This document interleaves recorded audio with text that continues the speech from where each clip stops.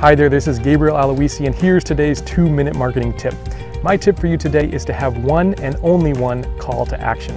So, so often I see clubs when they do their advertising or their outside communications have way too many calls to action. They list an email address, they list a phone number, they list a fax number, a mailing address, all these things that just confuses the potential member.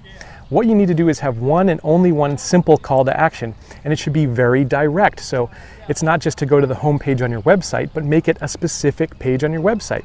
Let's say privateclubradio.com slash book, because that's where you can buy my book.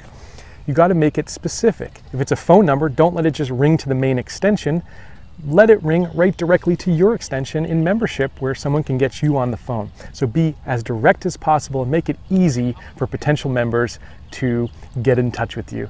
Don't give them too many options, give them one way, and you're going to be a lot more successful. This was Gabriel Aluisy. This was your two minute marketing tip. Here's to your membership success.